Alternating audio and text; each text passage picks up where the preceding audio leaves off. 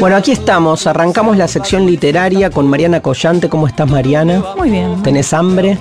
Eh, estuve comiendo unas masitas que trajeron los chicos de la escuela. Ah, muy bien. Sí, sí. Muchas- Zafo hasta a las 4 o 5 de la tarde ya me agarra hambre de nuevo. Le recordamos a nuestra audiencia que hoy no es lunes, sino domingo y que no son las siete y media más o menos, debe ser ahora, 8 menos cuarto de la noche, sino las eh, 2 menos 10 y estamos viendo acá este, la televisión en C5N, una repetición de TBR de ayer y mm, tenemos hambre porque llega el mediodía.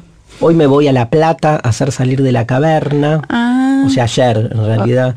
Este, bueno, Sí, no importa. Toda sí, esta sí. pelotudez. Hablemos, ¿qué nos traes hoy, Mariana Collante, en la sección Otras Palabras? Traje un libro que editó Editorial Corregidor que se llama eh, No hay risas en el cielo, lo escribió Ariel Urquiza. Ajá. El libro son eh, relatos, cuentos que están como separados pero a la vez forman una gran historia.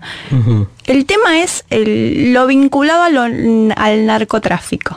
Mira, Tiene como un estilo, Ariel, mm, bastante de crónica periodística, aunque él no, no ejerce el periodismo, pero está armado de esa manera. Los Pero- personajes se cruzan todo el tiempo, pero se pueden leer los textos individualmente. pero es una novela. Es como una, lo podés leer como una novela o lo podés leer con los cuentos así separados. Ok, bien. Y se llama No, hay risas, en el... cielo. ¿Y de qué, se, de qué trata, digamos? ¿Qué- Son, son historias sobre todo de la segunda línea de, digamos, lo- los, los que ejercen la violencia concreta, ¿no?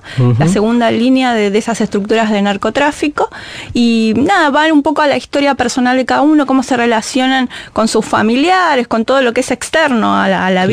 De la violencia. Y también co- eh, esa misma historia, ¿no? De violencia, cómo se da. Y lo más interesante, lo que más me gusta y, y va todo el tiempo eh, en, este, en estos relatos, es como una cuestión religiosa de lo que hablábamos la, la semana pasada, porque el, el- el capo, el, el señor, el que define la vida y la muerte de cada uno, ellos están totalmente consustanciados con lo que el tipo dice y hay, por ejemplo, un cuento donde tiene que matar a una mujer, la mujer queda medio muerta dice, no, pero no, no, la quiero matar, le dice el tipo por teléfono. Eh, no, bueno, listo, la hace, la, la quiere revivir y después le dice, no, mejor matala. Entonces la vuelve a ahorcar y es una locura, pero realmente el tipo no cuestiona nada y hace lo que el tipo le dice por teléfono. Claro, increíble. matala, no la mates, matala, no la mates. O sea, es así como eh, un, digamos, desde un género realismo duro, digamos, ¿sí? Sí, pero interviene la ficción mucho, tiene una cuestión así bastante poética en los títulos, por ejemplo, Lo que duran las horas, que es un, muy lindo el título, y es como ese poder que tiene el capo narcotraficante que nunca va a matar a alguien, pero lo deja todo el tiempo pendiente la venganza. Entonces el tipo no puede dormir nunca, y está caminando todo el tiempo a la noche porque tiene miedo de que lo maten y a la vez Claro. no puede vivir. Escúchame, ¿está localizado en, en Argentina? Está, es Argentina y México, como que transcurren en los dos lugares. Buenísimo. ¿Y hablaste con A- hablé Ariel? con Ariel que más o menos me contó todo esto. A ver, lo escuchamos.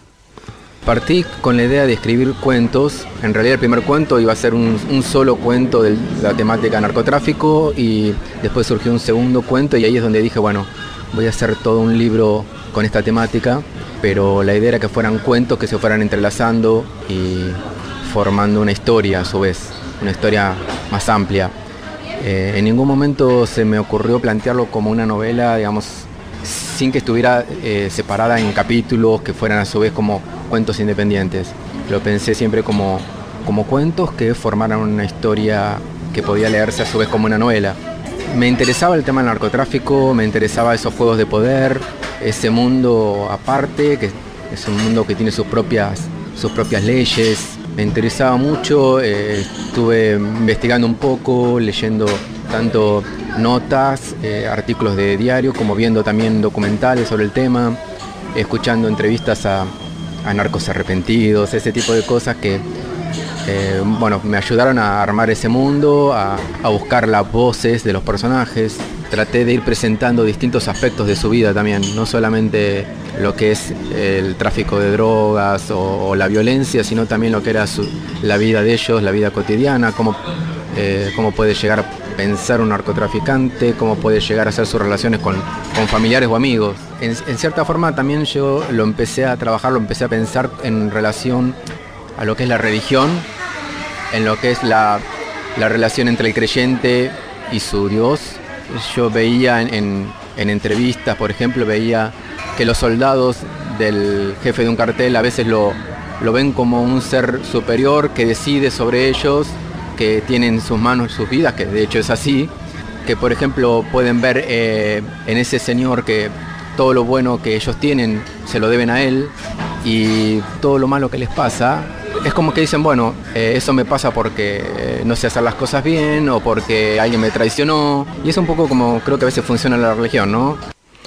Bueno, interesantísimo. Aparte como un género nuevo, ¿no? Este, Nos traes esta vez este, muy lindo lo que se escucha de Ariel y con muchas ganas de leer No hay risas en el cielo de Editorial Corregidor, una editorial este, de las medianas que, que, que bueno, que sigue dando pelea en un tiempo que cuesta cada vez más editar. Escuchamos la pelea de la Cámara del Libro con el ministro de Cultura en la apertura de la Feria del Libro. Digamos, es increíble que, el, Estado, digamos, no se haga cargo, ¿no? Y, niega, y que niegue, ¿no? O sea, de decir, bueno, no, nada, está todo mal, veámoslo. Pero no, el de negar y el de querer hacernos convencer que la cosa está mejor, ¿no? Porque es, sí, pero la respuesta fue, bueno, si las otras veces se arreglaron, ¿por qué esta vez no se van a arreglar. No, no, no, tiene sentido. Yo quiero este, mm, proponerles eh, la lectura de un nuevo libro de Noam Chomsky, que acaba de salir editado por Paidós. Se llama ¿Por qué lo, porque lo decimos nosotros? Ay, qué buen título. Está bueno. Me matan igual cuando está el por qué y no es pregunta, ¿viste? Me cuesta el tono. ¿Por qué lo decimos? ¿Por qué lo de no? Porque lo decimos nosotros. Ideal democrático, estrategias de poder y manipulación en el siglo XXI fascinante. Son artículos de Chomsky que obviamente hablan de lo que él, de, su aspecto político no lingüístico, ¿no? Este, su crítica al capitalismo, su crítica también a la idea de bien común. Son una serie de artículos que van como tratando de entender lo que finalmente es la llegada de Trump a, Estados Unidos. Pero bueno, este, me parece interesante un intelectual como Chomsky para el que quiera tener una lectura crítica del mundo, un Chomsky que te hace mucha autocrítica. Se despachó hace unas semanas en contra de todo todos los este, gobiernos latinoamericanos que él había apoyado. Este, y fue como un cimbronazo diciendo todos los este, las propuestas nacional y popular que ha habido en Latinoamérica, bueno, no anduvieron, o sea, y no tuvo ningún este, problema en decirlo y en marcar por qué. Eso para mí, este, aunque a muchos no les guste, lo hace un pensador independiente en el sentido de cierta autonomía de su, de su ejercicio crítico y nada, me interesa mucho leerlo. Este, por ahí son dos, tres ideas con las que te quedás, pero bueno, tiene una prosa, este, la verdad, muy llevadera y sobre todo para poder este, tener una lectura crítica este, en el mundo de hoy. Me parece desde este lugar, desde un lugar más intelectual y no tan periodístico, esto me parece interesante lo que aporta Chomsky en los medios. Los quiero invitar este, a mm, eh, unos eventos que empieza a ser Futurock. Sí. Esta semana. La radio empieza este, con un ciclo de que se llaman Futu Charlas. Sí, todo, va a tener Futu. Todo tiene Futu.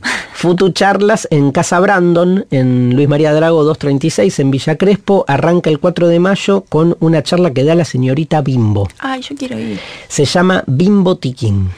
Voy a ir. En vivo, señorita Bimbo, que es una hermosa amiga, colega que hace el programa Furia Bebé junto a Malena Pichot, este, todos los días de 16 a 18, cualquiera, 16, a 18, está bien. Este, comienza ella este jueves 4 de mayo a las 20 horas. ¿Quién puede venir acá? ¿Sabes? No. La gente de la comunidad. La gente de la comunidad Futurock. O sea, hay que, ser socio de la comunidad y este, este, eh, este ciclo de charlas es eh, libre, hay que anotarse.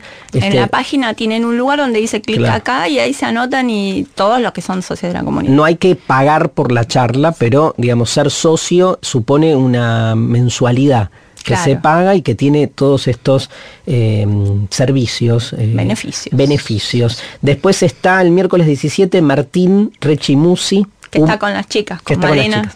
Humor y política para embarazadas. Buenísimo. El miércoles 31, Gustavo Sala, el humorista ah, que. me gusta. ¿Te gusta? Sí, sí, sí. Rock, humor y músicos ofendidos. Me encanta.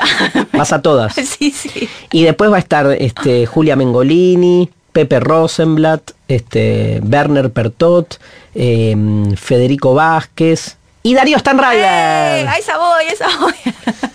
Yo voy a hablar, creo que, de pensar al otro, entre el amor y la política. ¿Ya lo decidiste o lo Ya lo, ya lo pasé el título. Voy a Ah. hablar de eso en agosto. Algún jueves eh, de agosto está la fecha en algún lado, pero no. Pero bueno, los invitamos este 4 de mayo en el inicio eh, eh, a la charla de señorita Bimbo.